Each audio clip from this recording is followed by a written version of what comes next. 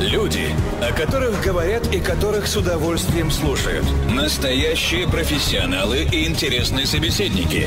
В прямом эфире «Народной волны» с Игорем Цесарским.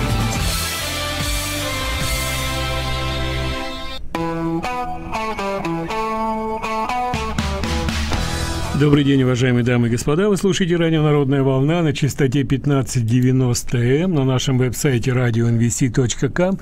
Ну и, конечно же, мы приветствуем всех наших YouTube-зрителей. Радиоблог с Игорем Цесарским. Игорь, здравствуйте. Добрый день, Сережа. Добрый день, уважаемые радиослушатели. Итак, начало сезона, первый радиоблог в 2022 году. Не знаю, каким его назовут, определяющим, решающим, удручающим. Это мы посмотрим. А пока я хотел бы а, вам напомнить, что э, ТВ-клуб «Континент» тоже э, на днях буквально откроет свой новый сезон. И я вас уверяю, вы, как всегда, встретитесь с очень интересными людьми. Вы, как всегда, услышите от них то, что, возможно, не сумеете услышать где-то в другом месте, где-то на других каналах. Ну, по крайней мере, нам так думается, и многие наши постоянные слушатели – эту нашу мысль постоянно подтверждают. А сейчас я хочу представить вам гостя, который еще ни разу не был а, у меня здесь на а, этом самом а, радиоблоге и на Народной. И я очень рад, что появилась такая возможность пригласить. Это Григорий Амнуэль, человек, который ну, скажем так, кто э, с телевидением знаком, тот его так или иначе видел и неоднократно. Это общественный деятель, это э, журналист, это режиссер, э, продюсер, сценарист, в общем, все перечислять, пожалуй, пол передачи займу. Но это действительно человек широкого диапазона действий, и я рад, что мы можем поговорить э, сегодня о тех вещах, которые интересуют по крайней мере, насколько мне известно и понятно, слушателей народной волны, слушателей, которым не чужда политика, а политика – это один из основных аспектов деятельности Григория. Григорий, рад вас видеть, добрый вечер, у вас-то вечер. Добрый вечер, добрый день э, и с наступившими праздниками всех. Спасибо. Итак, э, начнем. Э, вот мы, в общем-то, наверняка не можем обойти э, стороной э, так называемые итоги года, итоги прошлого года. Буквально, может быть, в нескольких словах, а может быть, не нескольких, я хотел бы э, поинтересоваться, как, каким вы видите ушедший год, прежде чем мы э, повернемся лицом, а не тем другим местом, к, к новому пришедшему. Ну, э, об ушедшем вообще-то принято либо хорошо, либо никак. Но попробуем нарушить этот принцип. Э, хотя, конечно, потерь в этом ушедшем году было много. И они, к сожалению, были связаны далеко не только с пандемией, которая захватила, в общем, все человечество. Основная потеря, которая прежде всего, ну скажем, на русский мир распространяется, это потеря каких-либо, я думаю, иллюзий о перспективах развития метрополии, то есть о перспективах развития Российской Федерации. Э, потому что ничего, кроме репрессий, начиная, в общем, наверное, как минимум с середины года, а по большому счету из самого начала, мы э, от властей Российской Федерации не видели. Это репрессии разного, безусловно, уровня, э, разной жестокости, разной целенаправленности. Но все это очень хорошо подпадает именно под название репрессии. А поскольку из истории России, особенно 20 века, мы все помним – что, к сожалению, это очень устойчивая традиция, то э, вспомнить хорошо э, про ушедший год и, и иметь э, радостные перспективы в будущем, касающихся России прежде всего, в ближайшем будущем, по крайней мере, увы, не приходится. Таково, печаль, э, таково мое печальное подведение итогов прошлого года. Я понял. А, ну, нас, конечно же, в первую очередь по эту сторону океана интересует не отнюдь не продвижение русского мира по планете и, и вообще не та, э, скажем так, откровенно даже и внутренняя ситуация, пусть бы разбирались. У нас своя есть внутренняя, которая нас ну, серьезно больше интересует. И тем не менее, так уж случилось, что ну, во времена несуществующего ныне Советского Союза, естественно, приходилось в первую очередь обсуждать отношения Америки и Советского Союза в свете того, что эти две страны легко могли друг друга поуничтожать. Сейчас ситуация неожиданно пришло, пришла тоже к ну, той или иной степени к похожему. Почему? Потому что мы живем в мире, где где нет э, не то чтобы согласия, где мы видим, что Россия превращается в классического уже агрессора, несущего э, всем своим соседям очень ну, неприятные вещи, а Америка, особенно вот когда получила якобы президента, которого никто не выбрал на самом деле, а получила очень э, слабую, э, слабый ответ на, на это. И, и что нас в итоге тогда ждет? Как разрешится то, что есть? И мы понимаем, что Украина это как бы первое государство, которое подпадает под такой нехороший расклад. Э, ну, я сразу поясню, что когда я говорю русский мир, я, безусловно, не имею в виду кремлевскую э, формулировку возглавляемую Мединским, Никоновым и Примаковым. Э, и я имею в виду именно только то, что мы ведем эту передачу, говорим по-русски и говорим с людьми, которые понимают русский язык. И Гриш, ничего... это понятно, это я понимаю. Я имела... Я, ну, я, я, я точно так же, как ты, как бы, ну, просто раз, э, пояснил для тех, у кого может быть немножко да, другое конечно. впечатление. А, перспектива опасна для Украины, но она опасна далеко не только для Украины, потому что эм, мы не можем утверждать, что 1939 год это была трагедия только э, сентябрь 1939 года, что это была трагедия только польского народа и граждан польской польского государства. Это была трагедия, которая очень быстро перешла все берега и захлестнула весь мир. Даже не только европейский континент. И американскому досталось тоже вполне достаточно. А, поэтому э, я бы не сосредотачивался только на проблеме Украины, э, потому что не надо забывать про соседнюю Беларусь.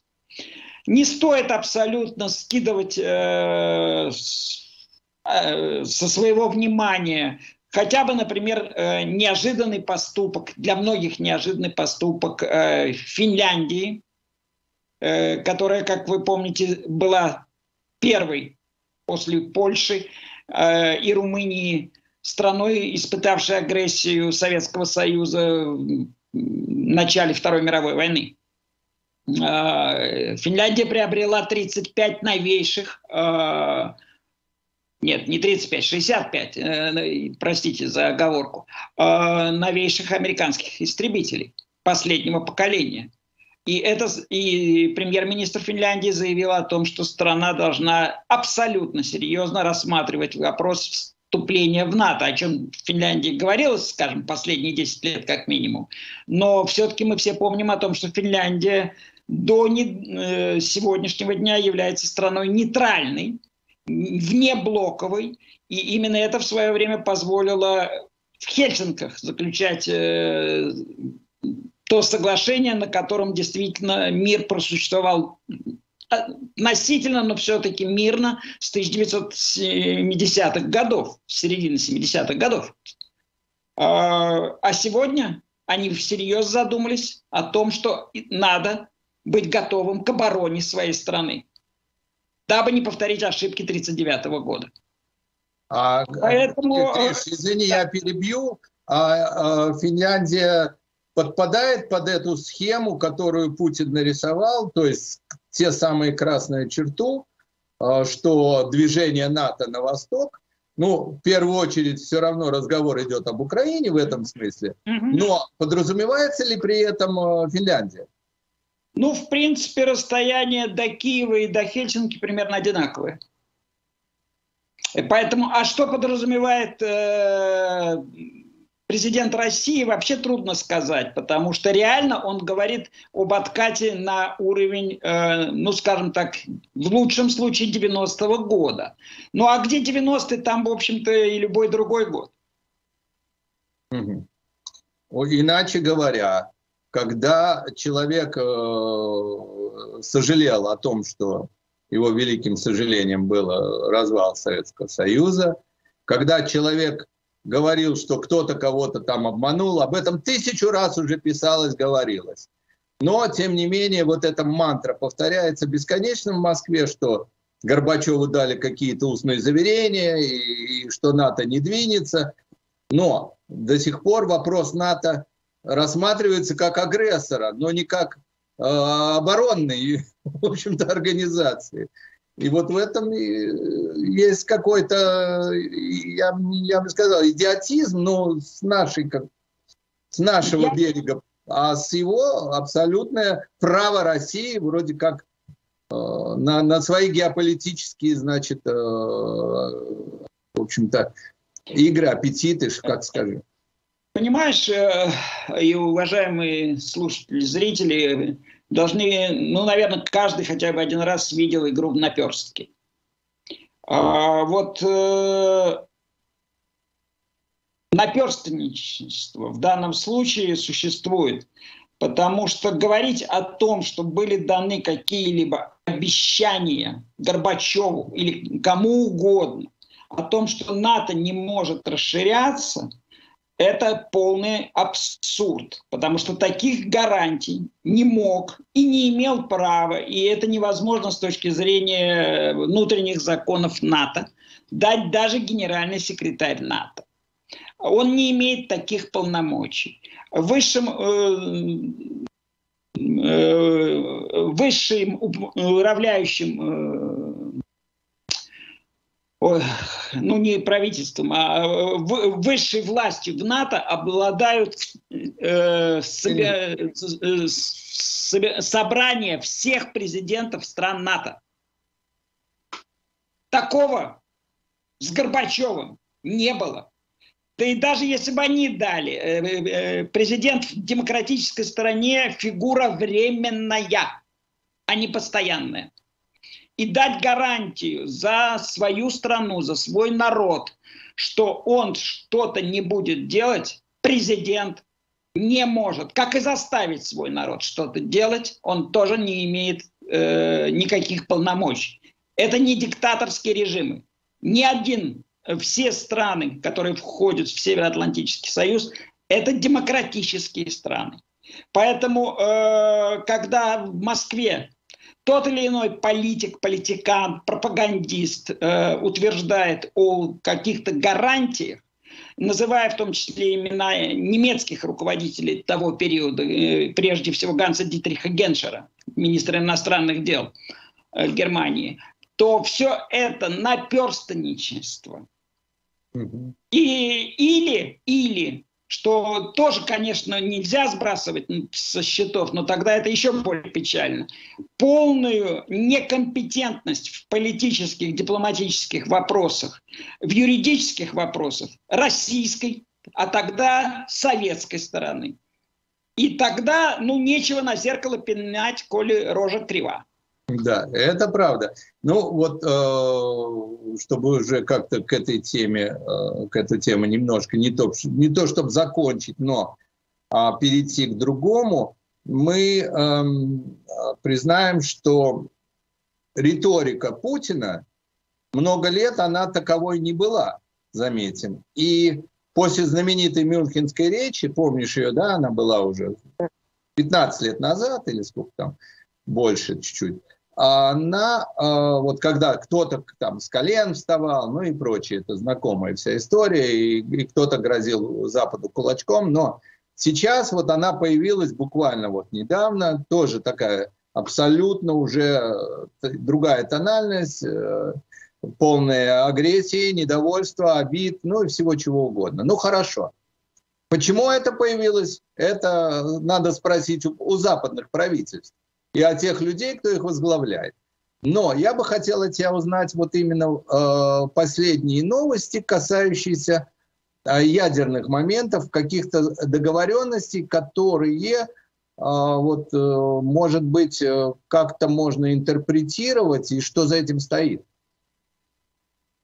Ну, ну, то есть, э, э, уважаемые зрители, речь идет о очень широко разрекламированном вчера, особенно в средствах российских э, массовой информации, подписании пятистороннего меморандума пятью главными ядерными странами, соответственно, Соединенными Штатами Америки, Великобританией, Францией, Китаем и Российской Федерацией. Э, документа, э, э, меморандума, в котором говорится о том, что страны заявляют о не желании угрожать друг другу ядерным оружием, об отводе на какое-то расстояние ядерных боеголовок, на консервацию их и будут принимать все меры к тому, чтобы ядерной войны не было. Это замечательная новость, безусловно, но Э, давайте на нее посмотрим немножко, что называется, в увеличительное стекло. А, три первые страны, Соединенные Штаты Америки, Великобритания и Франция, обладают э, максимально большим количеством ядерного вооружения. И более того, они обладают замечательными, э, абсолютно нового поколения носителями. Наземными, воздушными и военно-морскими.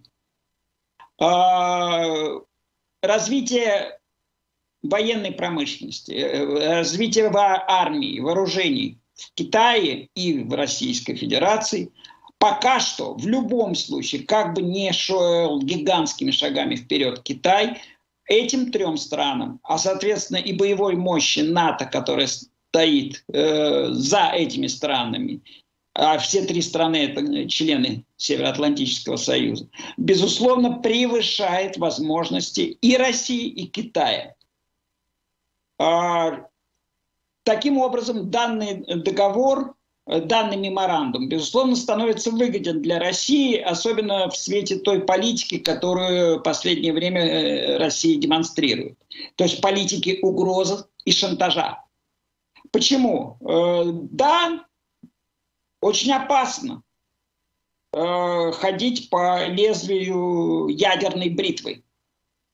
Э, тем более, когда ты понимаешь, э, при всех тех демонстрациях, которые регулярно показывают э, в России своим гражданам, да и зарубежным тоже, и зарубежным журналистам, что гарантировать э, свое население от попадания под э, ядерные удары Россия не может.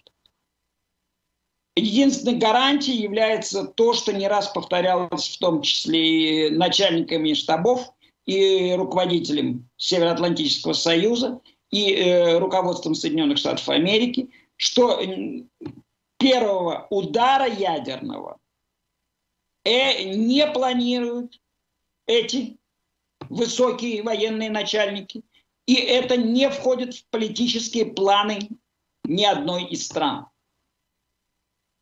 О том, э, о первых ядерных ударах говорит вождь Северной Кореи и э, о возможности и праве нанесения первого удара в случае опасности для Российской Федерации или ее союзников. Об этом надо отдельно говорить, кто сегодня союзники Российской Федерации – говорит э, как раз, э, говорится в Кремле. Более того, с тех пор, как Государственная Дума Российской Федерации, Совет Федерации Российской Федерации дали право президенту, верховному главнокомандующему, единолично, без голосования, без совещания, без всего, давать приказ – вооруженным силам о начале любых боевых действий, в том числе с использованием любого вооружения, реально весь мир подвешен на волю одного человека. Или на его физическое состояние, психическое, моральное и прочее. Это ни в коем случае не соответствует всем демократическим процедурам, которые существуют в любой из стран НАТО, повторюсь. Это очень важная разница, которую сбрасывать со счетов нельзя. Да, Россия или Китай сегодня к ядерной войне не готовы.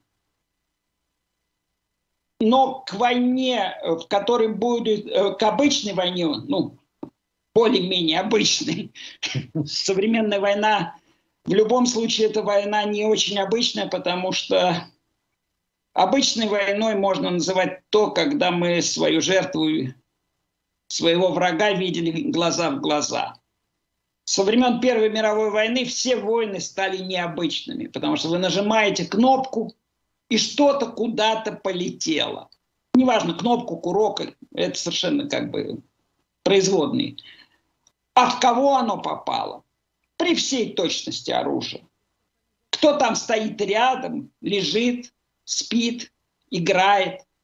Это никто не знает. Поэтому это всегда массовое убийство – Именно поэтому и Первая, и Вторая, особенно Вторая мировая война привела к тому, что непрямые потери любой стороны на европейском континенте, э, в Соединенных Штатах Америки все-таки, поскольку на их территории, за исключением Перхарбала, войны как таковой не было, э, это не так э, заметно. Соединенные Штаты Америки в основном имели военные потери. А европейские страны в любой не прямые военные потери превышают военные потери.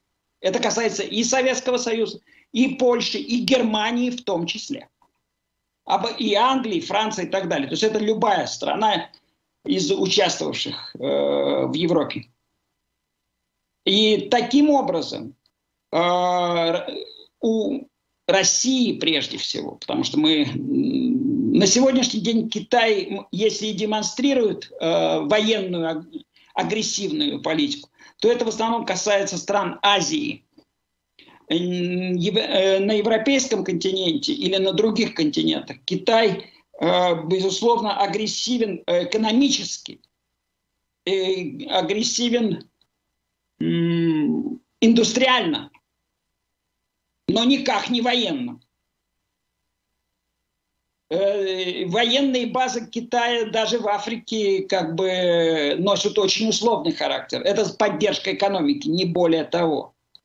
И идеологию Китай свою давно не продвигает. Язык продвигает. Людей, которые учат китайский язык в разных странах, все больше и больше. Хм. Но это следствие экономики, только экономики, а не какой-то политики. Никто сегодня с Дадзебао Э, с э, идеями Мао Цзэдуна не бегает по миру и даже и прежде всего по самому Китаю. А вот в России э, условная идеология, потому что это, конечно, не коммунистическая идеология. Это идеология одного. Мы очень хотим, чтобы мир был однополярный, хотя твердим, что мы этого не хотим. Но он однополярный должен быть под нас – и поскольку мы не можем диктовать миру свои условия экономикой, которая все ниже и ниже опускается в процентных отношениях, и в э, состоянии населения собственной страны, то другого выхода, как э, победоносные войны, на которых в том числе это население будет сильно сокращаться, а человеческая жизнь в э, России и в Китае почти ничего не стоит. В Китае, правда, она, все дороже и дороже, а вот в России она все дешевле и дешевле. И это опасная ситуация. Конечно, в первую очередь для наших непосредственных соседей, для Украины, для Белоруссии. В этом месте мы, очевидно, сделаем небольшой перерыв, послушаем рекламное объявление, после чего вернемся и обязательно продолжим. Люди, о которых говорят и которых с удовольствием слушают. Настоящие профессионалы и интересные собеседники. В прямом эфире «Народной волны» с Игорем Цесарским.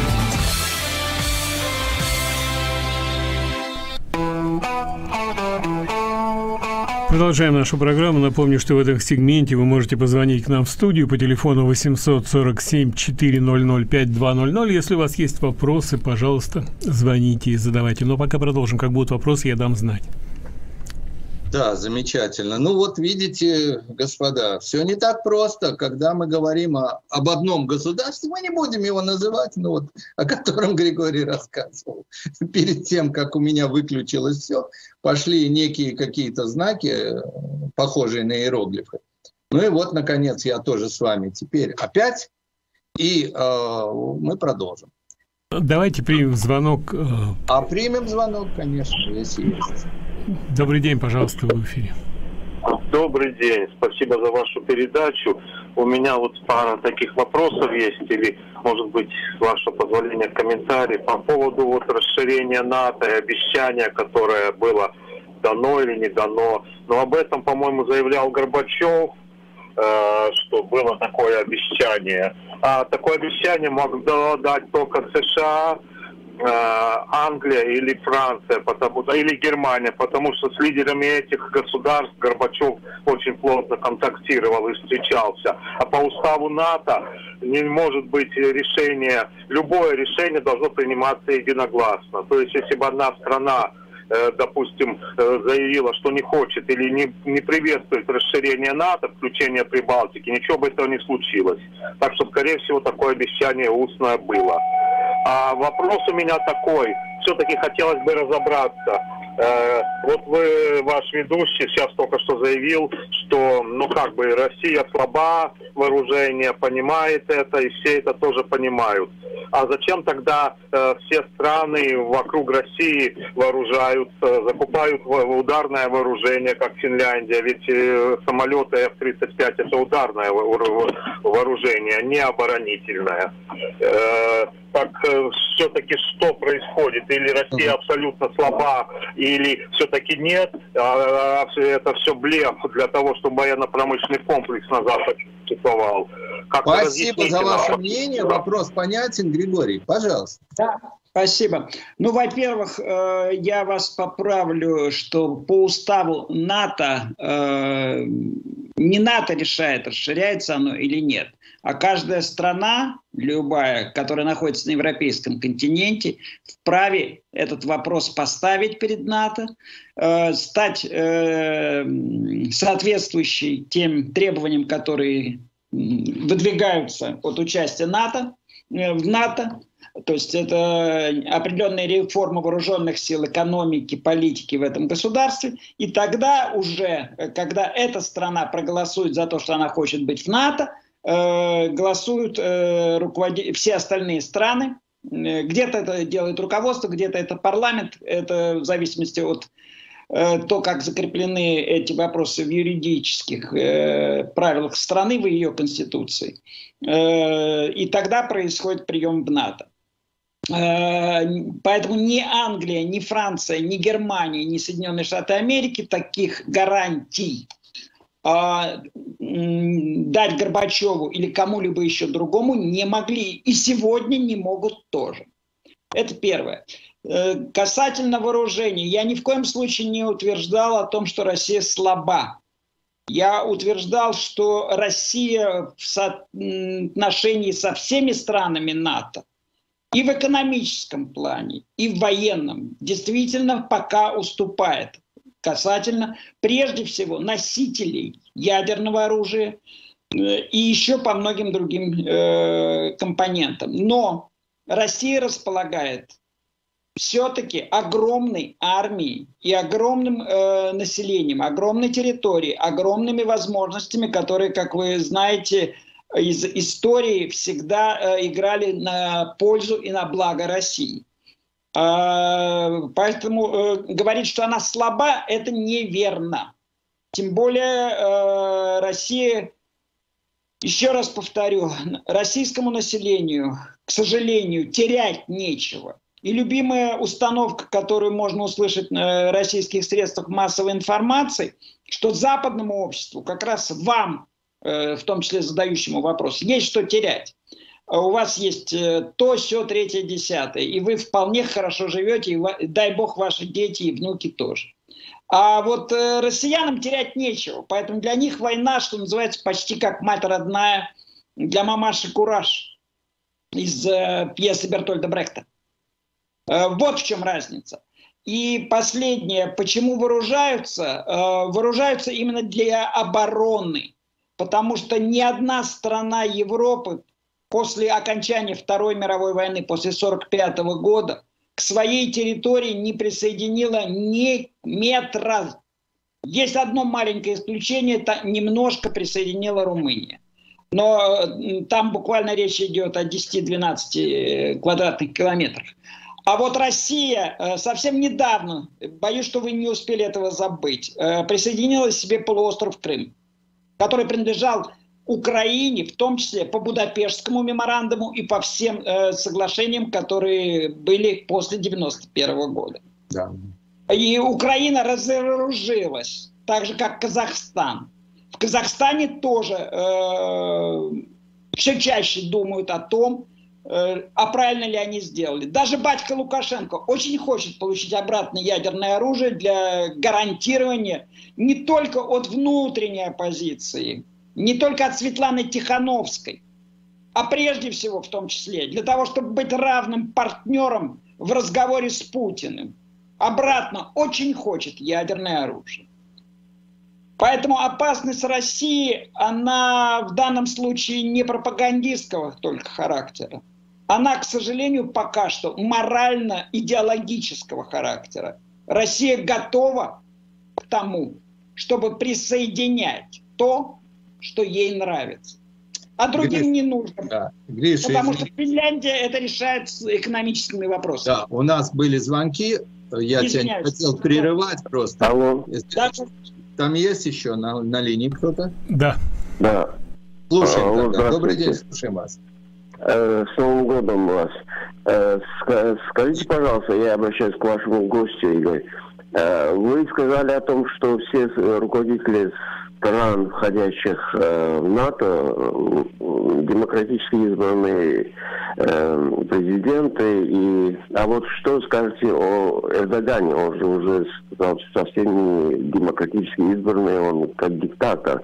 И, и мой второй вопрос – как вы рассматриваете то, что именно при президентах Соединенных Штатов, демократах, у вашего Путина все время возникают территориальные амбиции по отношению к своим чужим, к чужим странам, как Грузия, Украина, и вот на Прибалтику он все время огрызается именно во время э, Обамы и его сейчас при Байдене это у него все время происходит. Спасибо, Спасибо. вопрос понятен. Гриш, Спасибо. если ты не возражаешь да. на первый, я отвечу сам, потому что, э, к сожалению, так получается. Эрдоган выбран вполне демократическим образом. Абсолютно. И Абсолютно. поэтому говорить о том, что он стал путем переворотов или чего еще нет. А на второй вопрос я, я просто напомню в дополнение, я как раз то же самое хотел сказать, я напомню, что даже э, всеми нами нелюбимый Адольф Гитлер все-таки был избран тоже вполне демократической да. процедурой.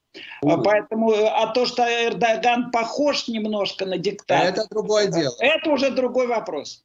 Хорошо, а, второй. А, что касается, значит, второго вопроса, который вы задали, ну, что вам сказать? Э, Наверное, надо смотреть на поведение этих демократов. Демократы бывали разные, насколько я помню. А, а то, что вот последнее время почему-то легко договариваться и почему-то легко э, выигрывать переговоры э, у Клинтона, у Обамы, принято почему-то некоторыми было смотреть в глаза и что-то там видеть. Поэтому я не, готов сказать, что здесь проблема только в э, названии партии, демократии. Я боюсь, что проблема в том, и это большая проблема всего западного мира, а не только Соединенных Штатов Америки, что в тот момент, когда красный флаг сменился на трехцветный флаг над Кремлем, многие поверили, что империя, которая дал точное название президент Рональд Рейган, перестала существовать. Но империи не перестают существовать в одночасье. Это долгий и мучительный и болезненный процесс. Да, это совершенно такой э, ответ, который, по-моему, более чем содержателен и объясняет ту ситуацию. И, кстати говоря, я с тобой совершенно согласен относительно того, что это не только американская проблема. Хотя о демократах у нас весьма-весьма, особенно последние годы, однозначное мнение, что они, к сожалению, великому, э, ведут себя на, я не говорю внутренне, на международной арене исключительно таким образом, что некто им может что-либо диктовать. Э, для Америки это звучит всегда позорно, потому что э, когда они выискивали некие вот такого рода вещи у предыдущего, хотя мы его по-прежнему называем исключительно 45-м, а не бывшим 45-м, но он-то как раз, э, делая некие комплименты, очень красиво держал в хорошем тонусе и Кремль, и корейского диктатора, и кого угодно еще в отличие от того, что мы имеем ныне. Ну вот это моя. Как бы, я могу добавить, если там нет вопроса, то я могу добавить буквально два э, фразы к тому, что ты только что сказал. С моей точки зрения, российское руководство э, должно было давно поменять герб и добавить трезубец. Э, но трезубец не тот, который на украинском гербе, а тот, который был когда-то и на российском, древнем гербе. Потому что есть три единства российской политики. Это купить, это запугать и в крайнем случае это убить. Mm-hmm. И, к сожалению, и, к сожалению, политиков на Западе, которым удается запугать или шантажировать, купить, как Шредер и целый ряд австрийских министров, mm-hmm. и можно и не только австрийских, которые, конечно, польстились на оклад намного больше, чем тот, который они имели у себя в государствах. Э, это большая проблема. И это большие успехи э, и в том, что мы слышим сегодня от э, Кремля, от президента России в том числе, и не только от него. В этом, конечно, безусловно, еще раз повторюсь, вина Запада тоже существует. Несомненно. Но Дело в том, что Россия тоже успешно играет, успешно играет на противоречиях. Она совершенно э, в восторге от происходящего в Европе. Вот и об этом я хотел, чтобы ты тоже немного рассказал, как сейчас ситуация, потому что запуск, ну, у нас в Америке я не хочу, ну, это, скажем так, когда будет сидеть человек, который живет на, как и мы здесь, мы будем говорить о мексиканской границе. А у тебя, живущего на Западе, в Европе, я хотел бы еще раз спросить, что происходит сейчас с вашими границами там? Ну, сейчас границы немножко успокоены генералом Морозом, а он, э, как мы знаем, очень хорошо умеет много чего успокаивать и много кого. Причем в разных сторонах. Угу. Тем более, когда речь идет о людях, которые не очень к морозам привыкли. Ну, раз только ночное время, а тут еще и дневное. Температура иногда э, э, подходит к 20 градусам по Цельсию. Э, э, ну, не везде, но бывали такие дни. Э, поэтому с этим немножко легче. Но э, я говорил, с моей точки зрения, э, я писал об этом еще по первой волне, которая шла на юг Европы. Италия, Испания, Португалия, Франция частично, Мальта, Греция, безусловно. Э, что представить себе, чтобы огромное количество э, людей, затронутых теми или иными боевыми действиями в Сирии, в Афганистане, в Ираке, в Ливии, в странах Афри... Черной Африки, вдруг Э, при том, что это люди э, в большинстве своем, мягко говоря, не очень богатые. Плюс это люди, которые многое потеряли на войне, в том числе не только родственников, но и имущество, и деньги. Что у них найдутся деньги для того, чтобы платить контрабандистам, которые э, э, любят зарабатывать на всем, на чем только возможно заработать, а не только на наркотиках. Э, по 500 евро или пускай даже долларов – за переправку, не гарантирующую э, конечного результата через Средиземное море на вот этих вот э, суденышках или что-то напоминающее суденышки, вот мне без поддержки того, кто финансирует данные потоки, мне это представить нереально. А я с Африкой, по крайней мере, знаком очень хорошо. Я э, пять лет практически э, плотно работал с этим континентом. Причем, э, ну, знаю его. А поэтому, с моей точки зрения, недаром напротив Министерства иностранных дел поставлен памятник Примакову, который в течение долгих лет был куратором э, ближневосточной политики не Министерства иностранных дел, а разведорганов Российского, э, Советского Союза. Я думаю, почему я так думаю? Я знаю только две страны, в которых руководитель стран не подотчетен никаким проверяющим э, механизмам. Это Северная Корея, но мне трудно представить уважаемого Кима, который э, тратит деньги на подобные операции. У него своих проблем достаточно, и его аппетиты в основном по границам его государства идут. И прежде всего, конечно, ему бы хотелось объединить две Кореи в одно государство. И это хотелось бы не только ему, это желание большинства корейцев. Ну, не, может, не под его руководством, конечно, но это желание большинства корейцев. А вот в Российской Федерации действительно руководитель страны обладает всеми деньгами этой страны, всеми мощностями этой страны. И он ничем и никем в сегодняшней ситуации в Российской Федерации не контролируемый, даже счетной палатой. Гриш, гипотетически, но мы понимаем, что пока он там сидит, э, ситуации, которая бы предвещала его уход, пусть даже в разряд э, этакого Дэн Сяопина китайского, маловероятно. Ну хорошо, но, но бывает так, что неожиданно Кондратик посетил там, я знаю. Бывает всякое.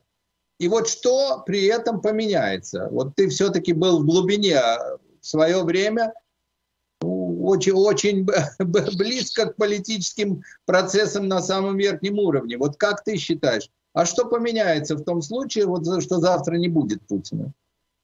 Боюсь, что я тебя разочарую, и тем более зрителей. С моей точки зрения, шансов на то, что что-нибудь поменяется, почти нет. А, то есть поменяться портрет на стене может, что называется, завтра. Это не от нас, это, в общем, в руках Всевышнего. Э, как бы он ни назывался, э, это не проблема. Но э, процессы, которые произойдут после этого в России, определенный передел собственности я легко предвижу. Определенные возможные изменения гимна, флага, герба предвижу. Может быть. Может не быть, может быть, быть это не суть важно. А вот основной тренд того, что э, многие, слишком многие, и обладающие властью, и даже простые граждане страны, очень хотят жить в великой стране, а не в нормальной. Вот этот тренд изменить, боюсь, что уже будет очень трудно, и на это потребуется много десятилетий работы, и боюсь, что не только граждан страны. Это даже при том, что вот это молодое поколение даже понятия не имеет о таких фигурах, как Ленин, Сталин и так далее. Ну, э, все-таки кое-какое понятие они имеют, потому что только, ну, не, ну, только не то, что мы, мы имели. Ну, э, не совсем то, что мы имели, но, понимаешь, мы знали и больше негативных фактов. Э, потому что мы э, жили среди людей, которые в том числе родились до Октябрьской революции, и они могли нам кое-что рассказать. Э, наши бабушки, там, прабабушки, прадедушки и так далее. Современная молодежь воспитывается людьми поколения Владимира Владимировича. Угу. Ты от них что хочешь услышать? От этих учителей, от этих родителей? Владимир Путин – и все окружение, и все руководство сегодняшней России пришло не откуда-то, не с Марса прилетело. И родились они э, в условиях, ну, допущу, что э, даже в более худших, чем многие слушатели этой передачи. Они не готовились к тому, к захвату Кремля. К этому готовился институт И институт это сделал, а э, институт никто не отменяет. И в нем достаточно много майоров, лейтенантов и так далее, и так далее. Понятно. В общем, мы приходим, вот у нас уже осталась буквально минута, и мы приходим к неутешительному все-таки. Или все-таки есть просвет? Последнее, 20 э, э, Просвет заключается в наших э, головах. Если мы э, все это будем реально понимать и делать, и в том числе руководители наших всех стран будут это понимать и делать, и знать, с кем они садятся за стол, и не смотреть в глаза, а думать и анализировать реальные факты, то тогда я думаю, что мы смело имеем право смотреть в светлое будущее. Ну, слушай, это хорошее завершение нашего разговора. Я благодарю, что был сегодня с нами. Надеюсь на новые встречи и, в общем-то, и на темы, которые, может, более будут светлыми, приятными, творческими, я бы сказал. Все, а всем нашим слушателям оставайтесь с нами, оставайтесь на Народной. А радиоблог будет выходить, как и прежде, по понедельникам. Сегодня вот только на, в начале года мы такой небольшой сделали. Всем здоровья и мира. Спасибо.